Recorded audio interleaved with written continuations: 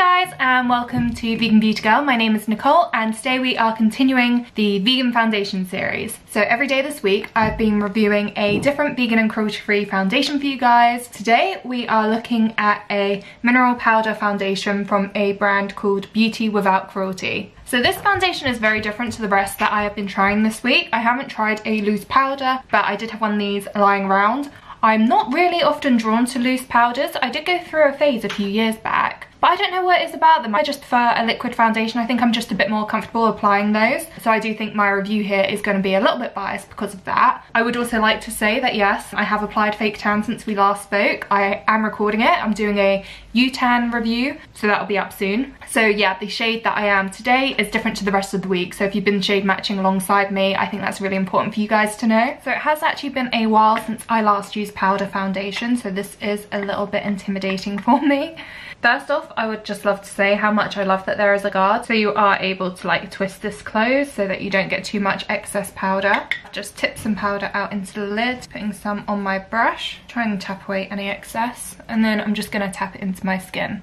To be fair, I actually really like the coverage on this. I think the shade might be a little bit too warm for me. So I actually did just fake tan yesterday, so the shade that I'm wearing today will not be equal to the shades I've worn for the rest of this week before I fake tan. So this one is a bit browner than what I'm used to. I'm going to use a foundation brush, tap that into the product and use that on my spots and also on my under eyes. But yeah, I'm going to do the rest of my makeup and we'll catch up. Yeah, let's talk about Beauty Without Cruelty. They're a lot lesser known than the other brands I've covered this week as well, but they're reasonably well known in the vegan space, particularly if you've been vegan for a long time. I think I've been vegan for 12, 12 and a half years now and back in the day it was not like the marketing buzzword it is now and there are very few brands that were offering vegan beauty products and that often was like their whole purpose so Beauty Without Cruelty was a brand like that they were founded in the 60s and they have animal rights right deep in their roots. So when you are buying from them, you are supporting a company that really does care about vegan ethics and have cared long before it was particularly profitable to do so.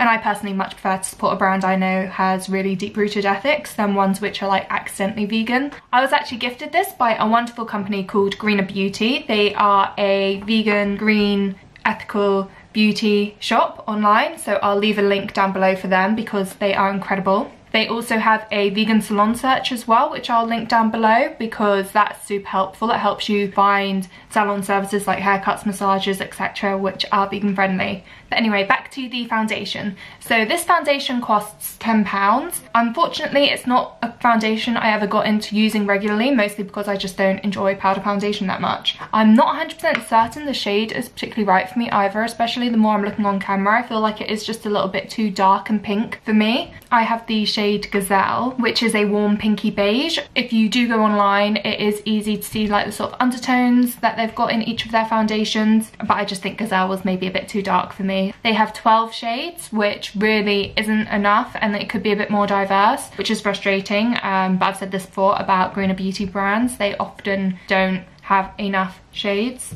and that is one reason that I struggle to shop with them. Uh, especially as an influencer, when I recommend a foundation, I want to be able to recommend it to all of my followers, not just people in the narrower shade ranges. They are better than some in the sense that they at least do help you shop by undertones through their descriptions.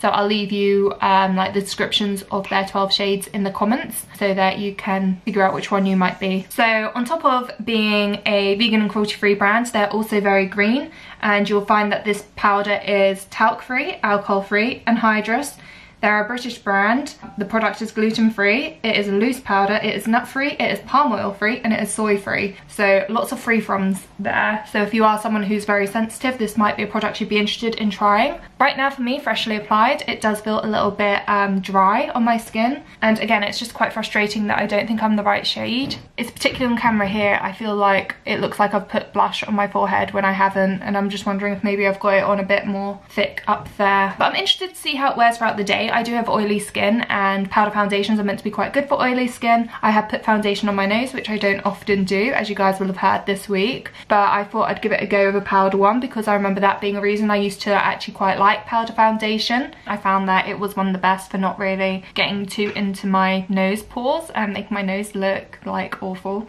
It's one of my big nose struggles. All in all, I think the coverage is quite nice. I think it looks a little bit patchy from where I've not got the exact right shade on, which you wouldn't really notice if I was wearing the right shade. But the coverage on it is actually a lot better than I expected. It didn't take much to kind of even out my skin tone a bit. My skin looks actually really lovely. It's really minimised my spots. It hasn't made them disappear, but it's really evened out my skin tone. It's not gathered around any dry patches that I've noticed, but my skin isn't as dry as it's been throughout the rest of the reviews I've done, so there isn't much for it to cling to.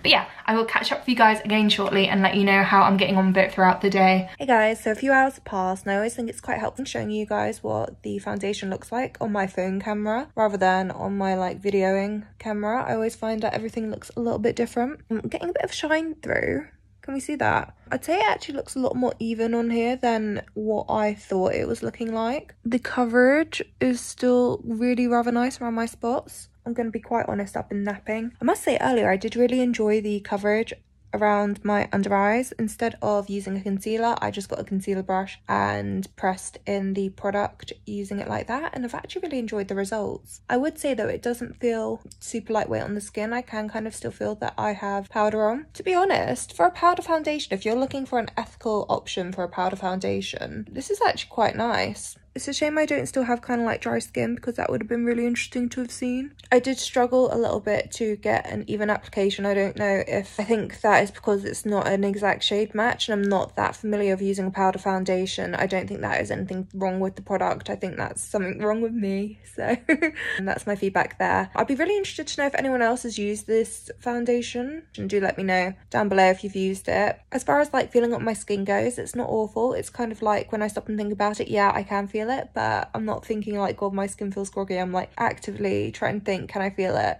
for this review? And I'm like, well, yeah, yes, I can. But getting in close, there's no like build up around like my smile or my frown lines, which has been nice. I think I'd wear it again. So final feedback on my powder Beauty Without Cruelty foundation is that I actually am very impressed with the coverage. I think it is a lot more even than I thought it was earlier. Oh God, I my dinner badge. Let's cover that back up. I think I would consider wearing it again. Just all in all, I'm quite happy. It's not brilliant around my spots, especially this late on the day, but I have broken out lately. I ran out of my favourite cream, which is the Serenity cream from S5 Skincare. I've just been kind of like using what I've got around the house and my skin's not happy with me, but until I get my new one through in the post, I've got to just moisturise what I can. I'll leave a link below for the moisturiser I love. To be honest, I think the shine control is really good. I think it's similar to the matte foundation that I had from MUA where it just has a bit of a dewier look now rather than an oily look. I think normally one of my concerns about using a powdered foundation is that I worry it'll look cakey, but it doesn't look cakey at all. So if you are looking for a free from mineral foundation and to support a nice small business, then I would recommend checking out Beauty Without Cruelty. So thank you guys so much for watching and tune in again tomorrow where we'll be doing our final foundation review for the week. Don't forget to like and